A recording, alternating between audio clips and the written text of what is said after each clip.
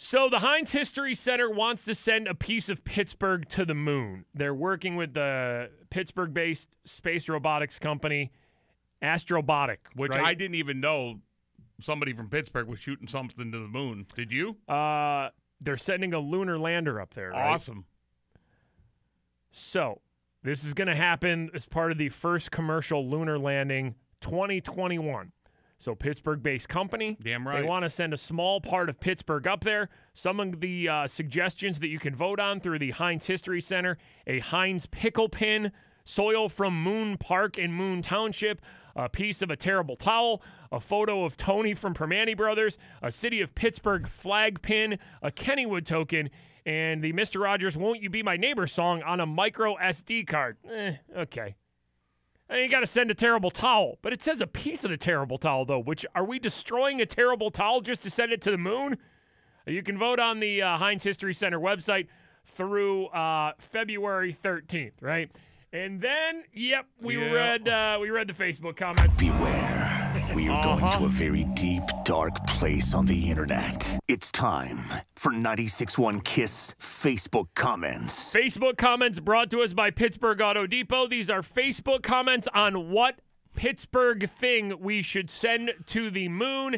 Amy S., who cuts up a terrible towel? It's blasphemy. I'd send the whole terrible towel. We don't take pieces off the towel or let anyone else take a piece out of it. Amy's completely right. Why are you? I mean, that is a rule. You know, why are you, you desecrating a terrible towel? can't do that, right? Uh, Louise W. chipped ham sandwich from Isaly's. Yeah, Louise, that's reasonable. We're That'll gonna hold send up, a- A, chipped ham sandwich up to the moon. Jason T. I'd personally pay for a one-way ticket for Bill Peduto. Eric H. nutting in his cronies. Travis G. a PennDOT orange road cone. Uh, Gail V, a piece of the Civic Arena roof. I'm telling you, we talk about still available, We talk about this all the time. Civic Arena's been gone for years now. Somehow there are still pieces of the roof being sold all like every Christmas. It's like Civic Arena ornament. Who wants a piece Who of the wants roof? one? Yeah. Like how thick was that roof? Yeah. How many pieces really were there? Again, these are Facebook comments on what Pittsburgh should send to the moon. Uh, Daniel H. The Franco Harris statue of the Immaculate Reception. Yeah, that's that's a good one. That's a practical one too. Just Yeah, we'll just blast that right up there. hey, be honest though.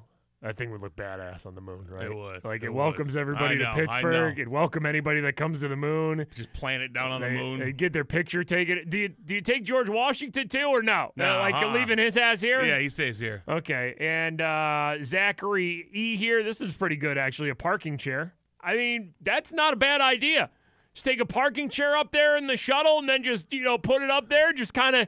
Uh, that's pretty much claiming the entire moon for Pittsburgh. I think, It's right? true, it's Can true. anybody else do anything on the moon? Like Chinese? Sorry, you're out of here. Russia, you want to go to the moon? Go Sorry. ahead. Try, hey, try to move that chair, Russia. Parking chair. Go ahead. Try to move it. And we'll end here with uh, Dwayne H., Antonio Brown, and Mike Tomlin. And the moon can keep them too.